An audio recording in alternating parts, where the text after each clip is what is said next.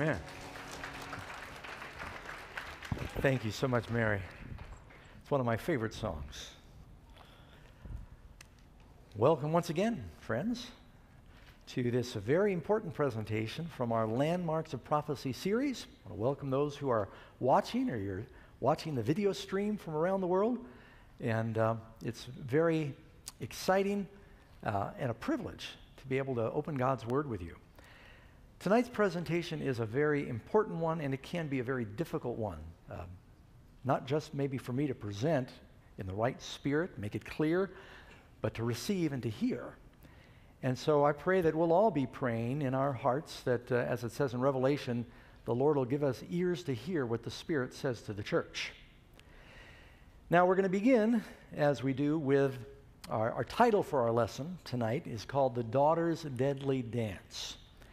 And it's based on a story you'll find in several Gospels, in particular, Mark chapter 6, verse 17 through 29. It's about John the Baptist and how he met his end.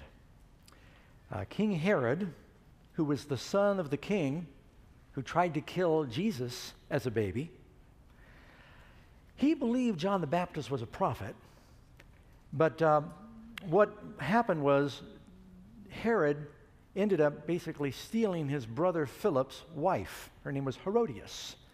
Philip had the territory to the north of Galilee, and Herod had the area of Galilee and the surrounding region down to Jerusalem.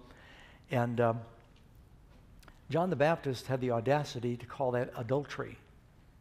Well, this is the king.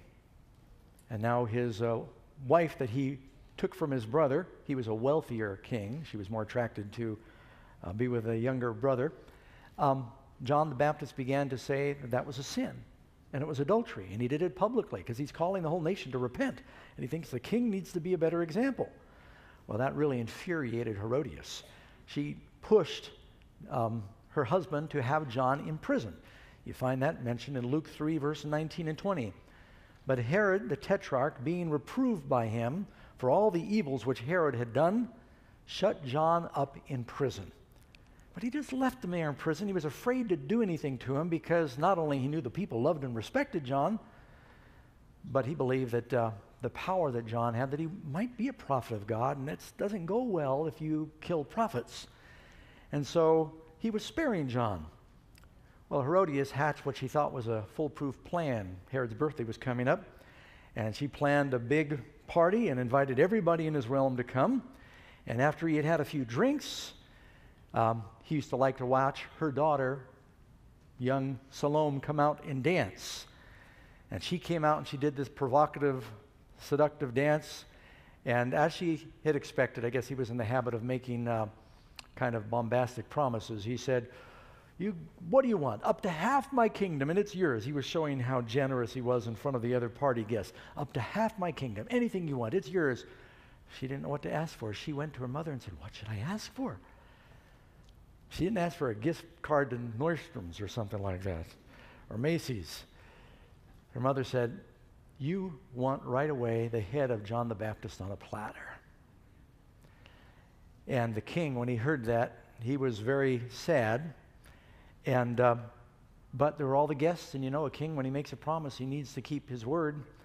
And so, after this counsel from the mother, Herod had to keep his promise. An executioner was sent to the prison, and with no fanfare or formal- formality, the prophet was killed there in prison alone. And his disciples came and retrieved his body. So, what I want you to especially notice here is that during the period of Christ's ministry, Jesus had begun his ministry, there was a mother daughter team that persecuted the prophets of God. Not only did Herod do this to John the Baptist, but later Herod was involved in trying Jesus himself. You know, the Bible tells us there was another Old Testament team. That's our first question in our lesson. Number one, what other mother and daughter team persecuted God's people in the Old Testament? You read your answer, 1 Kings chapter 18 verse 13. That infamous queen of the northern kingdom, her name was Jezebel. When you hear the name Jezebel, does that conjure up good images in your mind or is it usually somebody that's evil? Not too many people name their daughter Jezebel. Not too many people name their sons Nero. It's kind of what you say for your dog, right? It was a person who went down in biblical history in infamy because she was guilty of killing the prophets of God. And she tried to kill Elijah several times, killed many other prophets. Now, the thing I want you to notice about Jezebel, she had a daughter whose name was Athaliah. And here you have Jezebel, who lived during another three and a half year period. Now, I want you to notice this number because this number appears in the book of Daniel. You may not know it appears in the book of Esther.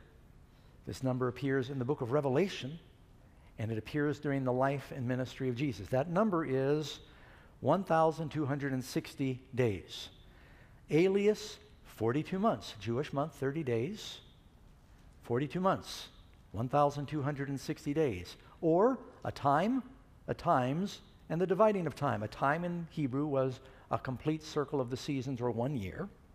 A times meant a couple or a pair of years. So you got a time that's one, and a couple that's two and a half. Can't do that with my fingers. Three and a half, right? So that number must be very important to God because He says that number every way you can think of saying that number. During that 1,260 day period, there was a famine during the time of Elijah. It's mentioned also in the book of James. Then you have 1,260 days during Jesus' life when he preaches during the time of persecution. John the Baptist persecuted. You've got Herodias and her daughter persecuting the prophets. You've got Jezebel and her daughter persecuting the prophets. And then Revelation says there is a prophetic 1,260 years where Babylon and her daughters persecute the prophets. All of it starts coming together when you, uh, you take that in. All right, let's do n- question number two. Then we're going to read something out of the Bible. Number two. We've, this is the third time we've mentioned this, but we're going to really uh, drill down into it tonight. What is the second angel's message of Revelation 14? You read in Revelation 14 8, and there followed another angel saying, What is it? Babylon is fallen, is fallen that great city because she made all nations drink the wine of the wrath of her fornication. It's a she, Babylon, fallen. Why does it say fallen, fallen? Babylon fell in the Old Testament during the time of Nebuchadnezzar. God's people were free to come out of Babylon and go back to the promised land. This is now spiritual Babylon falling in New Testament times. You get two falls happening here. Again, God's people will now be free to come back to the promised land. All right. Question number three. How does God symbolize Babylon in Revelation 17? We're going to prepare to read this. Revelation 17, verse 18. And the woman that you saw is that great city that reigns over the kings of the earth. So let me go ahead and uh, go to your Bibles. I want to go with you to Revelation chapter 17, and we're going to read this together. Won't read it all, but. Um, First few verses, anyway. Now, you know, we've taken time, we've read Revelation 12, 13, half of 14. Now we're going to 17. Then one of the seven angels who had the seven bowls, these are the vials of wrath that are being poured out, he came and he talked with me, saying, Come, I will show you the judgment of the great harlot who sits on many waters, with whom the kings of the earth, or governments, have committed fornication and the inhabitants of the earth were made drunk with the wine of her fornication. So he carried me away. This is some strong language. So he carried me away in the spirit into the wilderness. And I saw a woman sitting on a scarlet colored beast, though your sins be as. It's talking about sin here. Woman sitting on a scarlet colored beast full of names of blasphemy. We'll find out what blasphemy is. That's also in Daniel having seven heads. How many heads? Seven heads and ten horns. Very similar to the beast that we find in Revelation 12. And the woman is arrayed. She's wearing purple and scarlet and adorned with gold and precious stones and pearls, having in her hand a golden cup full of abominations and filthiness of her fornication. And on her head, on her forehead, a name written. Interesting how many have names written in their forehead in Revelation. Mystery Babylon the Great, the mother of harlots and abominations of the earth. And I saw the woman drunk with the blood of the saints and with the blood of the martyrs of Jesus. And when I saw her, I marveled with great amazement. The angel said to me, Why did you marvel? I will tell you the mystery of the woman and the beast that carries her, which have the seven heads and ten horns. He goes on then and he gives the interpretation. But uh, I want to jump to that verse we just read a moment ago. Go to um, verse 18, last verse in this chapter. And the woman who you saw is that great city which reigns over the kings of the earth. Now, when John was writing Revelation, what city was reigning over the kings of the earth? Rome. Rome is the one who imprisoned him. That was the empire back then. And what does a woman represent in prophecy? A church. So here you have a woman, a what? Church in Rome with great power. Now, I want to be as gentle as I can as I, as I share this. You want me to tell you what the Bible says, right? Um, you, you weren't very enthusiastic with that response. I already shared with you that I think the first beast in Revelation chapter 12, and what I'm sharing with you is not new. This is actually very old, but most people have lost it with all the modern evangelical preaching that you hear these days. Some of it good, some of it is just foam, cotton candy stuff. But you don't hear these great prophetic Protestant truths anymore. But the first beast in Revelation chapter 12 was symbolic of a beast as a nation or a power, the Roman Catholic Church. Second beast is talking about North America and Protestants. Here you have Babylon now in chapter 17, same power, and her daughters, same power. Talking about the, the daughters are the churches that have come out of Catholicism when there was this great divide, but they still bear resemblance to the mother in some of the theology. That's just a quick overview of that. Oh, yeah, I'll share that with you in a minute. That's, I got to let you digest that before I give you too much more. All right. So there's a list of criteria that are given here that tell us about who this woman is. For one thing, we read, and I'm going to go through just A on through the letters here. It says she's guilty of what? Verse 3? Blasphemy. This is review. We gave you several cases and quotes uh, that are in an earlier lesson of the claims that are made by the Roman Catholic power about their divine prerogatives. Here's just another one. The Pope is of so great a dignity and so exalted that he is not a mere man, but as it were, God, and the vicar of God. And a biblical definition for blasphemy would be to claim the prerogatives or the personage of God. It's called blasphemy. Putting yourself in the place of God. What's a sin that cannot be forgiven? Blasphemy against the Holy Spirit. I'm not saying uh, there's going to be popes, no doubt, in heaven. I'm not saying that uh, there, uh, once a person claims this, they can't be forgiven because it's not just blasphemy. God doesn't say blasphemy can't be forgiven. He says blasphemy against the Holy Spirit cannot be forgiven. There's a difference, right? I tell something about the attire here. Answer B, what is she wearing? She is dressed in purple and scarlet. And I don't know if you've seen a, uh, a Vatican con- enclave or conclave, uh, but the uh, bishops are wearing scarlet, and the cardinals are wearing, uh, or the cardinals wear scarlet, and the bishops wear uh, purple. I might have got that backwards. But those, well, let me get it straight. I got it in my notes here. At official functions, they are told what they're supposed to wear. Yeah, scarlet for the cardinals, and uh, bishops uh, wear purple, is the official colors. Uh, that's uh, fits that definition. What else does it go on to say? What is the woman wearing? Gold, pearls, precious stones. Uh, are you aware that the, um, the Roman Catholic Church is by far the wealthiest religious institution in the world? And it ranks right up there with the wealthiest corporations in the world with its annual budget. In real estate alone, are you aware in most of the major cities in the world, they have prime real estate because one of the first things that would happen, especially in South America, first thing that would happen, a town would grow around the church was the center of town. There would be a big plaza. And everything from St. Patrick's Cathedral in New York City to St. Peter's Basilica in the middle of Rome, and you go around the world just in property. How many people do you know that own multiple pieces of art by Michelangelo and Leonardo da Vinci? Not to mention, I, I, don't know if it's still true, a few years ago, they were the largest holder of silver in the world and many other priceless treasures. And so it is a very wealthy organization, in spite of the terrible raft of lawsuits that have come against them in recent years because of uh, some of the improprieties that uh, we know happen. Answer C she's called the mother. Now, you may not know, but the Pope is actually the pastor of a particular congregation, not just the whole church at large, but in Rome, they've got the Lateran Church. That is the Pope's official congregation, church there.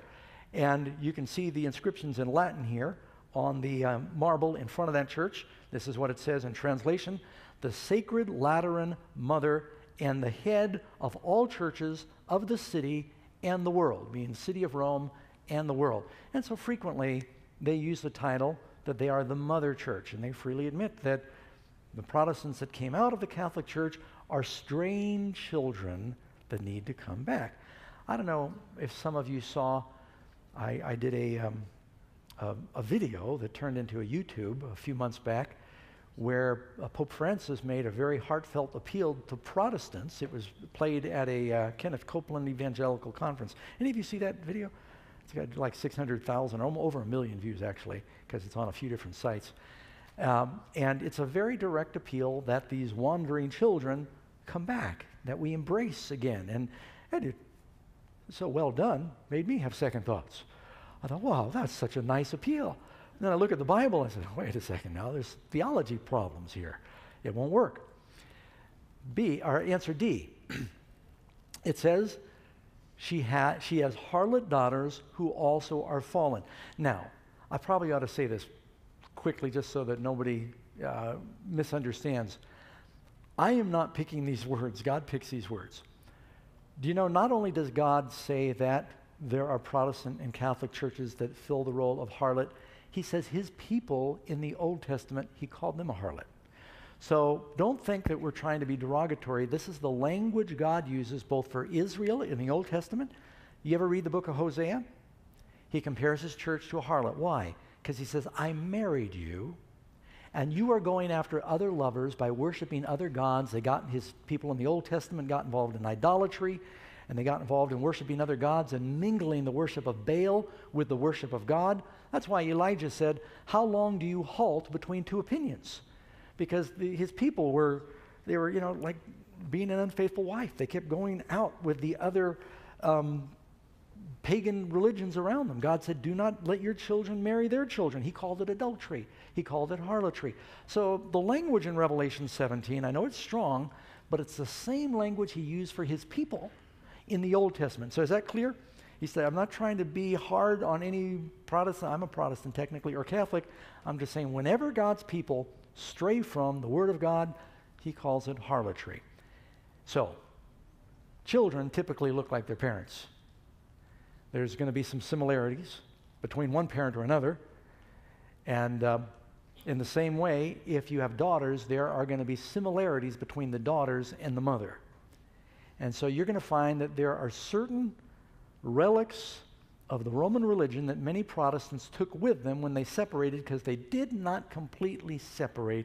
They still held to some things that had no biblical foundation. It says this power, talking about Revelation 17 still, that she persecuted and martyred the saints. So this was a persecuting power.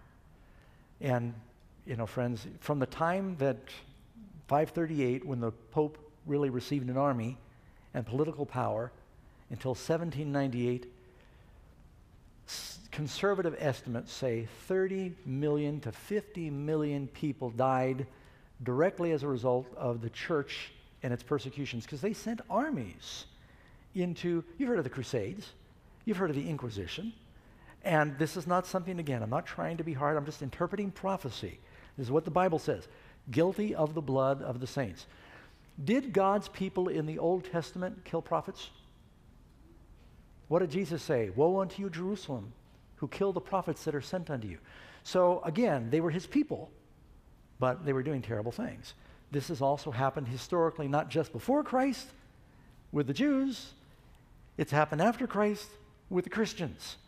And genuine Christians had to flee into the wilderness that same period of time, 1,260 days while you've got that mother daughter team that is persecuting the prophets. Says the woman went into the wilderness and God fed her there.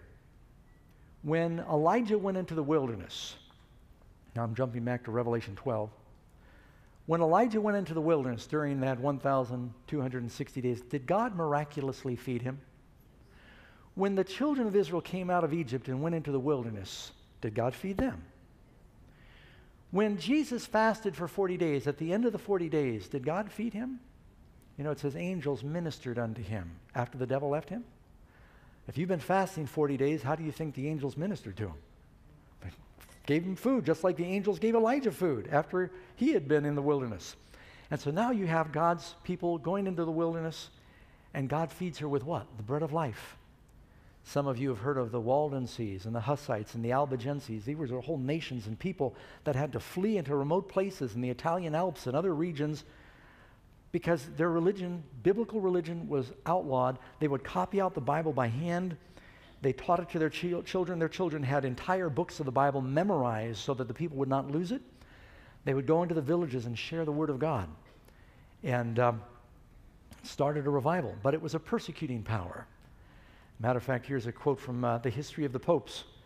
Great numbers were driven from their habitations with their wives and their children, stripped and naked, many of them inhumanely massacred. And so, this is what happened during that time. One more uh, feature that we read in Revelation 17 to know who is this woman scarlet, purple, precious stones. It says she sits on what? Seven mountains. You look up Seven Hills. Guess what's going to come up when you Google that? Rome is the city of seven hills. And this is just right out of an online dictionary here. Rome, founded in 753 BC by, of course, the brothers Romulus and Remus, on seven hills. A term used for centuries to describe the, then it goes on and it names those seven hills. I always struggle with their Italian pronunciations. Seven hills of Rome. She sits among what? Seven hills, the great city that reigns over the kings of the earth. Scarlet and purple, not done yet it's hard to miss what this group is, what this power is. Answer G, it says she ruled over the kings of the earth. Now, there I, I, just captured a picture from this last year, I believe, where Pope Francis, after making a trip to the Holy Land, knowing that the Palestinians and the Israelites were having such troubles, I think it was in the news again today that there was an attack in a synagogue. Did you hear that? It's been going on a long time. He invited the presidents of Palestine and Israel to come to Rome to talk about peace, and they came, and to pray together. And they came. The Pope will meet with the United Nations. It was announced since the seminar began. He's making his first trip to Philadelphia, to the United States, next year. How many of you have heard that? To discuss the family. And I understand he's going to meet with Congress during that time. He's received an invitation um, to meet with both a joint house of Congress and the Senate. That's a lot of power for a religious leader. Uh, they usually don't have Billy Graham address the United Nations. You see, we have an ambassador in America to the Vatican. Why would we have an ambassador, ambassador to a church? Unless it's more than a church. The Bible says it's a political power. That's why the term beast is used. Beasts were used to describe kingdoms and powers like this. This is just recent. This is not like it used to have during the Dark Ages. The kingdoms of Europe couldn't do anything without the approval of the Pope. There were bishops in every kingdom. Henry VIII was the first one to really break away. I told you I'd tell you the rest of the story. You know, he was applying for another marriage to be annulled, one of his many wives. And uh, after several wives, the church says, you know, even we can't, I mean, it starts looking back, bad, Henry. We can't just keep giving you divorces. You, you've got a problem, and you need to deal with it. And so Henry VIII sent uh, an ambassador to meet with the Vatican to appeal one last time to receive his approved divorce. And the ambassador brought his large dog with him. It was like a, some kind of big Afghan dog. And the Pope put out his foot to be kissed by the ambassador. The dog, misunderstanding the gesture, bit the Pope's foot. The Swiss guard then killed the dog on the spot which so hurt and outraged the ambassador that he turned on his heels and withdrew. And the rest is history. Now you have the Anglican Church because they said we are breaking away from the Catholic Church, and uh, it just caused an, uh, an irreconcilable difference at that point.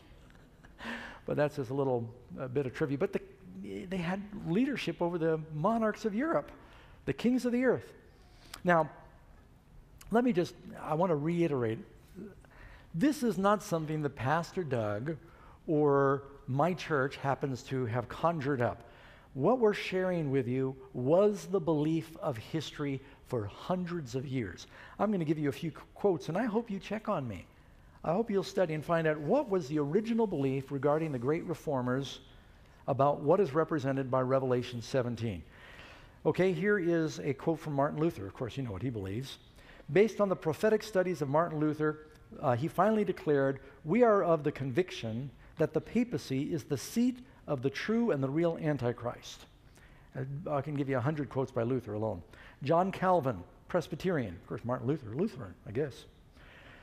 John Calvin, Presbyterian. Some persons think of us as too severe and censorious when we call the Roman pontiff Antichrist.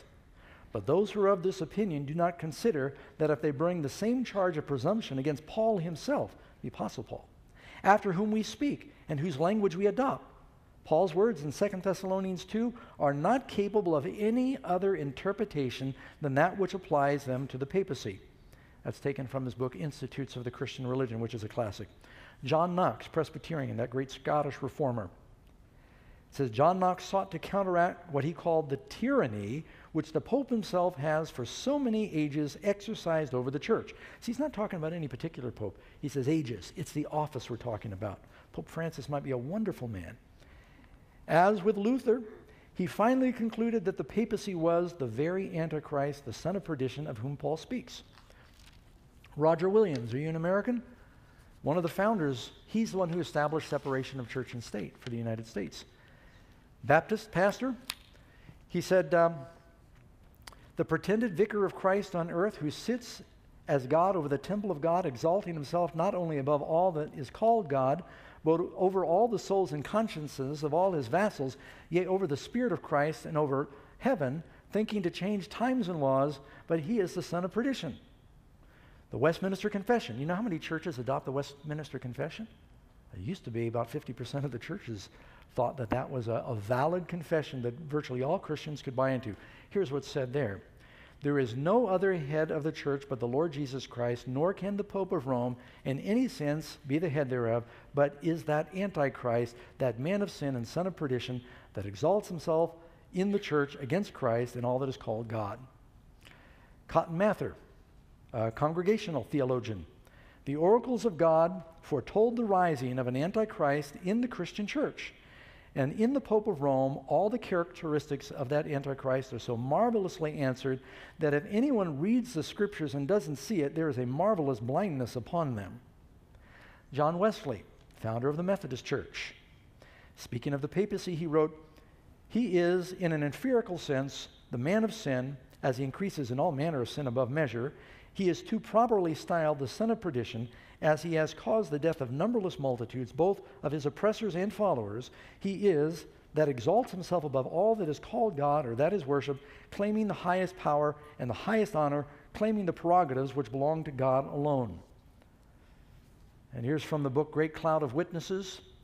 Wycliffe, you ever heard of the Wycliffe translators? You wouldn't have an English Bible if it wasn't for Wycliffe.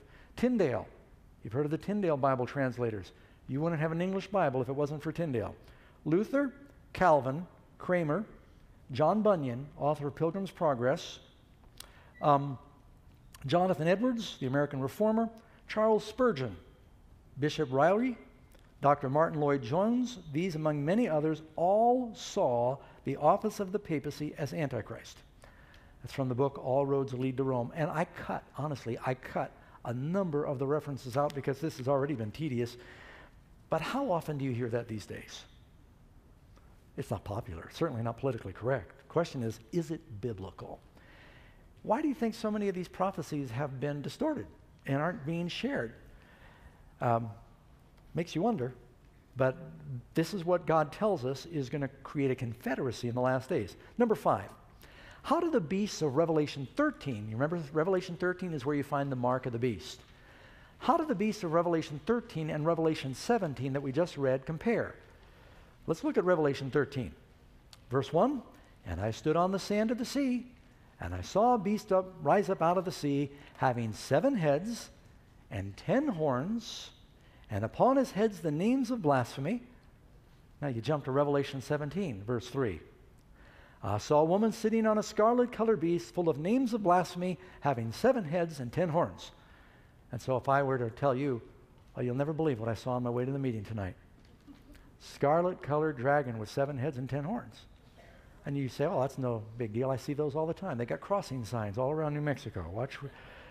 I mean, how often do you see something like that? Isn't this the same creature? Do we all agree it's the same one? What's the difference between Revelation 13 and Revelation 17? And in Revelation 12, you get this scarlet dragon trying to devour the man child. There's a woman sitting on it. So you've got the power of the Roman Empire. They started to lose their power about 400 AD when Constantine moved the empire to Constantinople. I'm sorry, Justinian moved it to Constantinople, gave an army to the Pope, said, You are now the bishop of the Christian church, you are the head of the Christian church, so that he could maintain control over it. Now the woman a church is sitting where the Roman power used to be. When someone sits on a horse who is supposed to be in control. Any of you ever ridden a horse where you were not in control? I used to break broncs that we adopted from uh, Arizona. Wow. But um, you're supposed to be in control. That's what that means. All right. And then you have again Revelation 12, verse 3. Again, you get this dragon. And there appeared another wonder in heaven. Behold, a great red dragon having seven heads and ten horns, seven crowns upon his heads. We learn what the seven heads represent. The seven hills of what city? Rome. Y'all still with me? Are we still friends? Are you my enemy because I tell you the truth? That's what Paul said. Number six. What is the meaning and the origin of the word Babylon? Genesis, and you find this in Genesis chapter 11. It says in Genesis 11, 4, 6, 7, 9, remember they said, Let's build a city and a tower whose top might reach to the heavens. And the Lord said, Let us go down and there confound or confuse their languages, that they may not understand one another's speech. Therefore, the name of that, it's called Babel, because there the Lord did confound or confuse the language of all the earth. Why do we call babies babies? Because they babble. And that's where you get the word babbling from. At the Tower of Babel, when they couldn't understand each other, they started to, what appeared to be barbaric babbling to each other. And uh, don't miss this point. It's going to come up later in our lesson tonight. At the Tower of Babel, when there was a confusion of tongues, they were building this tower to ostensibly save themselves in case God flooded the earth again make a name for themselves. They're probably going to have an altar at the top and do it connected with worship. And God confounded their languages. There was a confusion of tongues, right? Is a confusion of tongues a good thing? Does the Bible say that God is not the author of confusion? You read 1 Corinthians chapter 14, God said, if you're going to speak in another language in church, make sure you have a translator and do it in order because God is not the author of confusion. Let him who speaks Speak five words with your understanding that you might instruct others, than 10,000 in an unknown tongue. Paul said, if the trumpet gives an uncertain sound, I'm still in 1 Corinthians 14, how shall you prepare yourself for the battle? So, if you're going to speak, speak words that are easy to un- be understood. Better to prophesy than speak in tongues, because by prophesy, you're being edified. There's just scripture after scripture, and yet, do you see now a lot of Protestant churches and charismatic Catholic churches where people are babbling in an unbiblical way in churches where they don't know what they're saying and no one else knows what they're saying and there's no interpretation going on. And I, I don't want to be critical, but that's, I believe in the gifts of tongues. I believe in all the gifts of the Spirit. That's a lot of babbling that's coming into some of the churches. And it's different from what they did on Pentecost. And Pentecost, what you had was the Lord gave the disciples the ability to speak in the languages of these visiting Jews from all over the Roman Empire for the purpose of giving understanding. Says, We do hear them speak in our tongues the wonderful works of God. They knew what they were saying. That's why they were converted. That's why they repented. They could understand. There was, that's the blessing of God, understanding. Curse of God, confusion, not understanding. Does that make sense? But that's sweeping the churches as well today. Number seven, how does God describe Babylon in urging his people to leave? Revelation 18, verse 2. And he cried mightily with a strong voice, saying, Babylon the Great is fallen, is fallen. And he goes on to say, and has become the habitation of devils and the hold of every foul spirit. And then he goes on to say, Come out, do what? It's on the screen. Come out of her, what's a woman? My people, that you, why? That you be not partakers of her sins. And here's the part I don't want you to miss and receive of her plagues. God is calling people out of Babylon before the seven last plagues in Revelation fall. That's serious. Now, let me just give you a Bible story that helps illustrate why this is important. Abraham, Isaac, and Jacob, the three great patriarchs, came out of Mesopotamia. That's where Babylon is. They brought their wives out of Babylon into Canaan, the promised land. God said, I'm going to give you this land. When it came time for Abraham to find a wife for Isaac, he said to his chief servant Eliezer, Do not let my son marry one of these local pagan gals. I know that we're in the promised land, we're still surrounded by pagans, but he is to marry a girl that worships Jehovah. Go back to Mesopotamia, get a wife for Isaac. Her name was Rebecca. Bring her out. And you know the story. She watered the camels, and it was a miracle story about how God answered a prayer, and she's chosen to be the mother of Israel, so to speak quite literally, mother of Israel, because she gave birth to Jacob, who later was called Israel. Comes out of Mesopotamia into the promised land. Time for Jacob to get married. Rebecca says to Isaac, It's breaking my heart that Esau has married these pagan girls. That's, my life will mean nothing, she said to Isaac, if he marries one of these local girls. He's got to marry a girl that believes in Jehovah. He goes back to Mesopotamia, gets a wife, Jacob gets four wives actually. They're on sale. And he brought them all back to, uh, not exactly how it happened, but brought them back to the promised land. Then you have the children of Israel are carried off to Babylon during the time of Nebuchadnezzar. You know, there's no people like the Jews. They are the most. Inc- if you don't believe the Bible for any other reason, the Jew should be a reason for you to believe the Bible. Because there are no other people in the world that have been conquered and dispossessed from their land three different times and come back to their land and still have their language and their culture. I mean, it's, that's a miracle. I don't know how people can deny that. And they've got the book that's changing the world. They were carried off to, went off to Egypt, came back, went off to Babylon, came back, dispersed by the Romans, and came back again in 1948. Wow.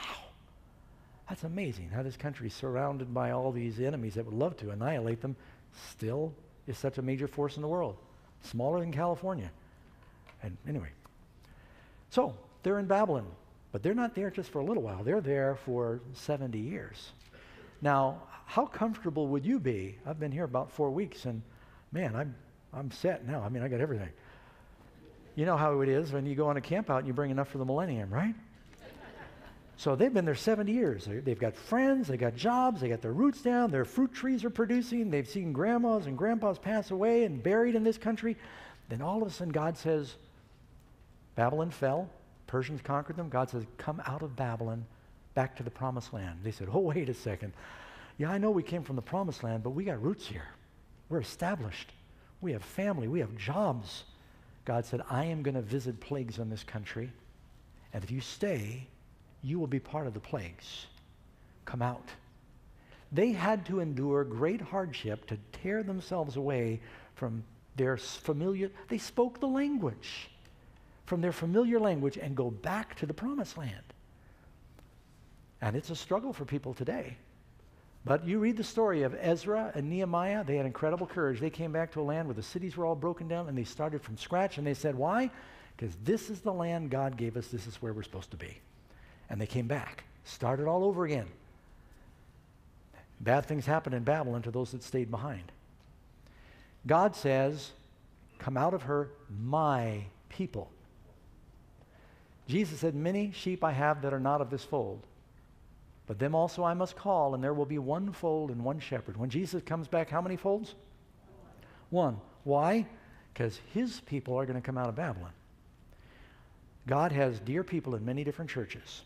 And the ro- Lord raised up this movement that's bringing you this seminar because we are calling people back to the scriptures for the last days to prepare for the return of Christ. We're seeing the final events happen all around us.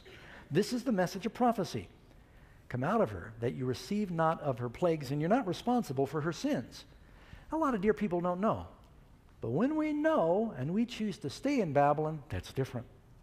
When you know, sin is knowing to do good and not doing it. Come out of my people. Number eight, Jesus repeatedly indicates, uh, I'm sorry, Jesus repeatedly indicts Babylon for making the world drunk with her wine. What is this wine? You know, it's interesting that uh, if you read back in Revelation 17, it talks about the woman has what in her hand? A golden cup. That's, that's interesting. Having a golden cup in her hand. If you look in the Catholic Encyclopedia, it'll tell you the chalice, speaking of the golden chalice, is held by the, the Pope and often by priests, is the most important of the sacred vessels because there they put the wine, and it is fermented wine that's supposed to represent the blood of Jesus. Let me park on that for a minute. If you're a Christian, you know about the Lord's Supper. Jesus in the Bible is extremely explicit that the bread that is to represent the body of Christ, his sinless life, is to be unleavened bread because it represents the sinless life of Christ. That blood is to be unfermented grape juice. Jesus said at the Lord's Supper, Drink ye all of this, he passed out the grape juice and he said, I will not drink it until I drink it with you new in my Father's kingdom. The word wine is used interchangeably in the Bible for both grape juice and the fermented stuff. They didn't have the word grape juice. It was all called wine because it came from the vine. And Jesus used unfermented grape juice at the Lord's Supper. And so the idea that um, Jesus would want everyone to get drunk, putting something that, you know what, uh, you know what the number one most deadly drug in the world is? Alcohol, by far. Alcohol kills more people every year, breaks up more families, causes more car accidents than cocaine and marijuana and crack and LSD and heroin, all the others combined. So, how much should a Christian support that? Should we be passing that around and calling it the blood of Christ when, when it turns into a drug? Unleavened bread, unfermented grape juice. But what does Revelation say? She has made all nations drunk. Now, it's not just the issue of it being alcoholic. You, I, I, you can tell I have a problem with that. Um, it's also because that represents the doctrines. The blood represents the theology of Babylon, which goes into both Protestant and Catholic churches. There's a lot of unbiblical things that have divided the churches. We need to come back on what the Word says. Let's give an example of what some of the specific doctrines of Babylon would be start with something simple, I hope you won't argue with, that the Ten Commandments are not binding, that you really don't need to worry about keeping the Ten Commandments. They're just recommendations, or they're good ideas. They're 10 suggestions. Is that, if you're in a church that's teaching you don't have to keep the Ten Commandments, I would classify that as a doctrine of devils. Because sin is the transgression of God's law. That's what the Bible says. If a church is telling you it's okay to break one of God's commandments, whether it's the Sabbath or bowing down to idols, the Bible calls it a sin. And the job of a good pastor is to tell you what sin is. Pastor's job is to make those who are comfortable uncomfortable and make those who are uncomfortable comfort them. you got to do a little bit of both. So, if you're in a church that's saying you don't have to keep the law, and I've seen people say, oh, we're not under the law. Well, what Paul means by that is we're not under the penalty of the law because of Jesus. He doesn't mean we're not under the obligation to obey. Paul says, Shall we sin that grace may abound? God forbid. He's not saying that. Paul said it's not the hearers of the law that are just before God, but the doers of the law will be justified. It's Romans 2:13. Connected with that would be Sunday sacredness, calling a day holy that God didn't make holy. I picked this picture in particular because if you ever go to Rome and, and a lot of the churches, there's a reason Sunday is called Sunday. It's not S O N, it's S U N. It's connected with sun worship. And like that, right under the cross, you'll see a solar disk. all throughout Catholicism and a number of the Christian churches, they, you got solar. Why do you think all the Bible characters had halos? Does it ever say anything in the Bible about, hey, he had a halo around his head? But they all, those were solar discs that used to be behind the heads of all of the pagan paintings and deities. And it's not in the Bible, it's connected with ancient sun worship. We talked about the second coming of Jesus. Did we make it clear that the second coming of Jesus is going to be the loudest, most vivacious? It's going to appeal to all of your senses. And so the idea that he's coming secretly, do you know where that teaching came from? A Jesuit doctor named Francisco Ribera wrote that hundreds of years ago after the Reformation, after Protestants began to look at Revelation and point to the church, they went flowing out of the church. So Catholic Church had one of their Jesuit doctors write what they call uh, the futuristic interpretation of prophecy. That was eventually adopted by a man named Scofield, who has the Scofield Bible, that made it popular for Hal Lindsey, wrote the book The Late Great Planet Earth, and it has become the theology about the second coming that sort of spread with the Left Behind books all through Christianity. But it's not what the Christians believed for 1900 years. They believed in a literal, visible, loud, climatic coming of Jesus at the end of a great tribulation, not before the tribulation. And we get Bible questions uh, frequently during our radio program, and we've had people call in and say, Pastor Ross, Pastor Doug, we're looking for scriptures to explain the secret rapture. We can't find them. Can you help us? And we say, No, we can't help you. what? So they're not in there. Everything about the second coming says he's a loud roar, a trumpet, an earthquake, a shout, a resurrection. It, it's the heavens are dissolved. The day of the Lord will come as a thief in the night. True. What happens that day? The heavens dissolve with fervent heat. The earth and the things that are in it are burned up. The elements melt. Does it sound like life goes on seven more years when Jesus comes like a thief? No, but Babylonian teaching. The immortality of the soul. The idea that you're going to live forever in hell or live forever in heaven. God said you sin and you will die. Penalty for sin is death. The devil said you won't really die. That's what he said to Eve, remember? Uh, who are we going to believe? Immortality is a gift. The Bible says God and God only has immortality. And yet the Christian church, or many sincere people, even pastors, are sincere. They don't know. And then the idea of eternal torment, that people right now are burning in hell before the resurrection, before the judgment, and that they're going to burn for zillions of years. Pick the biggest number. I guess googol was supposed to be a big number. I don't know what it is. A googol is a number with a whole bunch of zeros. But take, take a gazillion and then realize that if you've got a person blistering and burning for a gazillion years, some 15 year old kid that died lost, churches teach they're going to burn forever, and after a zillion years go by, they have not even begun yet. Do you think about what eternal burning is really like? What does that do to the character of God? For the sins of a fraction of a fraction of a second, they're going to burn forever. Bible says there is a lake of fire, there is a hell. Don't misunderstand. I tell my Baptist friends, my hell is hotter than your hell. Your hell just burns forever, mine burns them up. Right? That's what it says. The wicked will be burned up. So if you're in a church that's teaching this that came out of Greek mythology, you may be in Babylon. Distorts the character of God. You're in a church that says that you're supposed to call your religious leader a father, and Jesus said, Call no man father, you have one father, which is in heaven, or confess your sins to them, confess your sins to God, confess your faults to one another. A man does not have the power. The only sins I can forgive for you are the ones you commit against me and you for me. But when it comes to our sinning against God, a man can't forgive that. And then we've discussed all the different counterfeit methods of baptism that uh, are not found in the Bible. These are serious issues, friends. These are some of the very popular divisive doctrines that uh, are out there. Answer H there's a confusion of tongues that are in a lot of the churches. And uh, I believe again in the gift of tongues. I'll tell you some night, I believe I received the gift of tongues in a miraculous way. I picked up a Mexican hitchhiker. I guess this is the night I'm telling you. In Deming, New Mexico, right here in this state. Driving to California. He didn't speak any English. I didn't speak any Spanish. I had just prayed and said, Lord, I'm just driving along by myself. Two, two day drive, this old truck. Said it'd be nice to have someone to talk to. Didn't even have a radio that worked. It was a 1954 Chevy truck. I saw this man on the highway. I picked him up. He got in. I realized he didn't speak any English. I said, Oh, Lord, you got a sense of humor. I mean, you know, my, Spanish was ordering at Taco Bell. I mean, I didn't speak any Spanish. And as we rode along, I was just praying. I found out that he didn't, figured out somehow he's looking for work. And, and by the time I got to California, I was talking to him. I, I, shared with him. He came to live with us, ended up getting baptized. You're probably not surprised because I preach to everybody.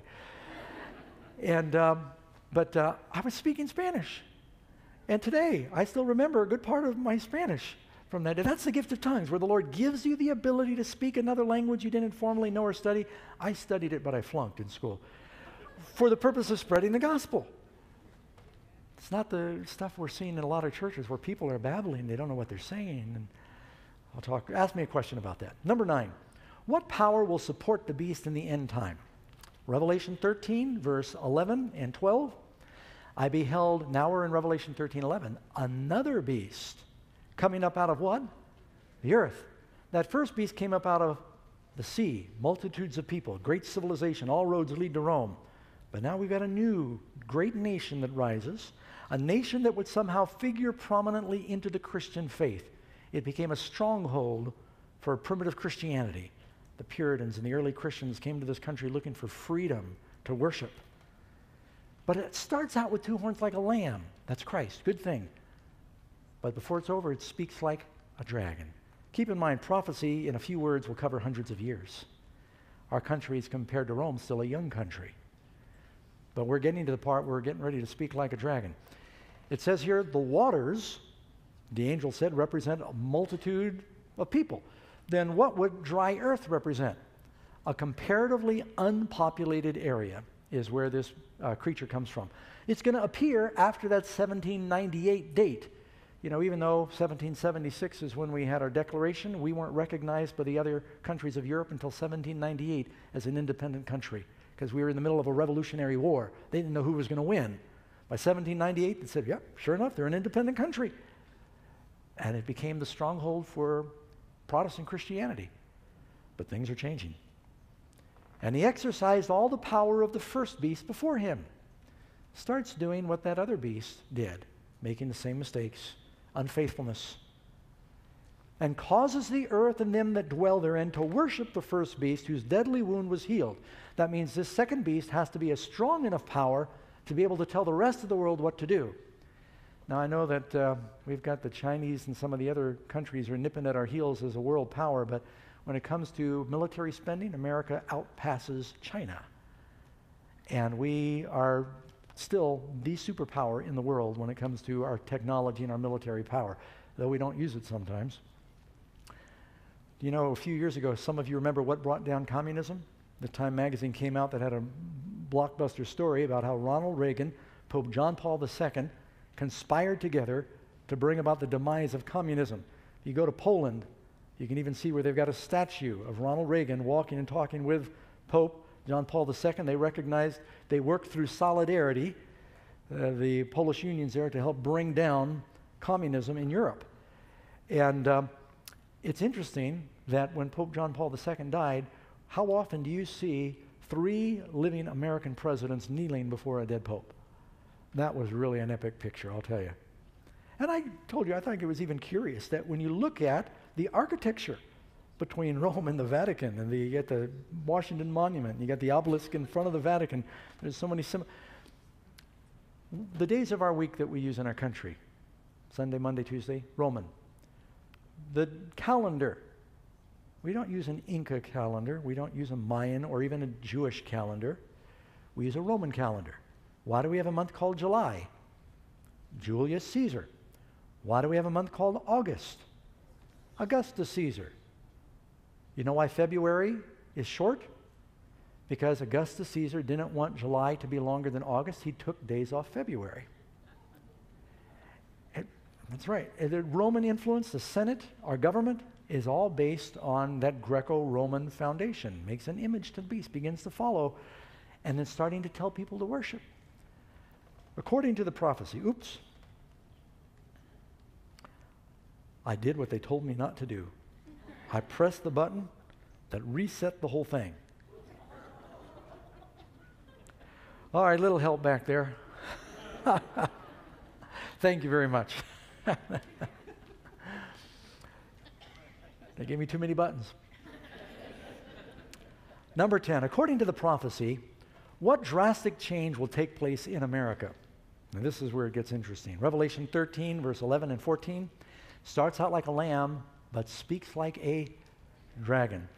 Artists have found it very interesting that uh, the bison, one of the largest of all cattle, only found in North America, great big, has little bitty horns like a, a ram. How does a nation speak? A nation speaks with what it legislates through its laws, the, the rules that it makes its people obey. Another little amazing fact I thought you might find interesting, and this was brought up by Christianity Today magazine, that with um, the approval of Judge Kagan, who recently joined the Supreme Court for the first time in the history of our country, when our country was founded, it used to be, believe it or not, right or wrong, I'm just telling you the fact, used to be all of the Supreme Court justices were Protestants. Did you know that? Now, there is not a single Protestant on the bench. There are three Jewish, they all align with a certain faith, three align with the Jewish faith, the remainders are all Roman Catholic. That's the first time. I thought that was interesting. There's been a shift. You know, America was, they, we, America founded looking for religious freedom, fleeing from what they thought was the tyranny in Europe. But we may end up following in the same steps according to the Bible. Saying to them that dwell on the earth that they should make an image to the beast that had the wound by the sword. The word of God is what wounded the beast, the sword. But it came back to life. Deadly wound was healed. Number 11.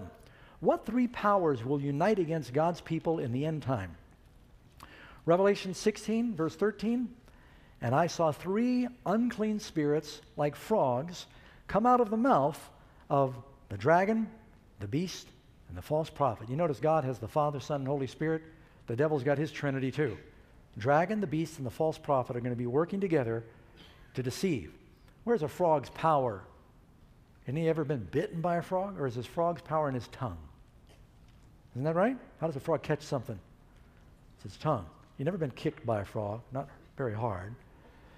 Its, its weapon is its tongue, and it's going to be through false spirits speaking things, false messages. Number 12, will these diverse organizations ever effectively unite? Revelation 16 14. For they are the spirits of devils working miracles, which go forth to the kings of the whole earth and the whole world to gather them to the battle of the great day of God Almighty, better known as the Battle of Armageddon. These are the things that are just before us. We've got another study. Someone asked me, What is the Battle of Armageddon? Number 13. What effective methods will this end time coalition use? And this is why we need to know our Bibles, because the devil said he's going to use signs and wonders. Jesus said if it were possible, even the very elect would be deceived. Revelation 16, 14, they are the spirits of devils doing what? There will be real miracles. Even in our cynical society today that's so scientific, when they see miracles, they're going to be blown away. It won't be special effects. Revelation 13 and 14, he does great wonders, not any wonder, great wonders, so that he makes fire come down from heaven on the earth in the sight of men. And he does what? He deceives them that dwell on the earth by the means of those miracles that he had power to do. You cannot believe what you see with your eyes. You need to go by the Word of God. That will be our only safety, friends. Number 14. What will prevent God's end time people from being deceived? What's going to be our only safety? You can read about it in Isaiah 8:20. To the law and the testimony. If they speak not according to this word, there is no light in him. This is talking about the Bible, God's word. We need to be able to say why we believe what we believe. Now, again, I want to reemphasize God has got loving, Christian, spirit filled people in many different denominations Protestant, Catholic, Orthodox. I believe that. I keep saying it because I want to make sure you know that.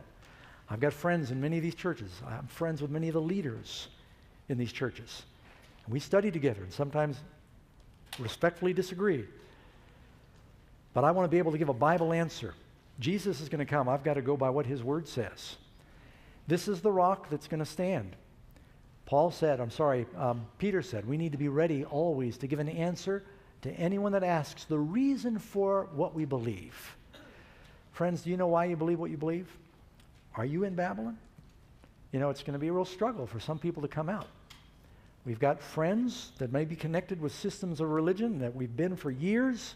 And God is sending us truth because He says the plagues are going to fall on Babylon. Come out of her, my people. Jesus is calling His sheep to come together as we near the end of time. There's going to be a shaking in His world, in this world, and you can't wait until the last day before you make your decision. It's like the people that were watching Noah build the ark. They said, "Yeah, you know, Noah's right. It's a wicked world, and when it starts to rain, I'm going to get on board." But by the time it started to rain, the door had shut. You cannot wait until the last minute. Jesus said, Today, if you hear his voice, do not harden your heart. He's wanting us to have the courage to say, Lord, I'm going to go to the promised land. I am ready to leave Babylon. It's not just coming out of something, it's coming into something.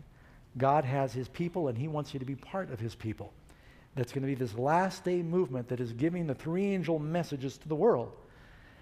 Jesus said, If you're not with me, you're against me. There's no neutral ground. And I wonder if before we close with prayer, if you'd like to just say, Lord, I want to be with Jesus. I want to be in his ark. I want to be in his fold in the last days. Is that your prayer, friends? That's your desire? Why don't we ask him together now? Let's pray. Father in heaven, Lord, we've uh, discussed and studied a difficult subject today. Help us to have the courage to make the decisions, to follow your word. We believe Jesus has brought us to hear and to see these things. And I pray, Lord, you'll also give us your spirit to take our stand, to stand up when others are bowing down and say, It's the truth. And we're going to follow the truth in your word, knowing the truth will set us free. We thank you, we bless you, and we ask this all in Christ's name. Amen. Thank you, friends. God bless you all. Don't miss tomorrow night's program. It's called Babylon's Buffet. Learn how to live longer and feel better from prophecy.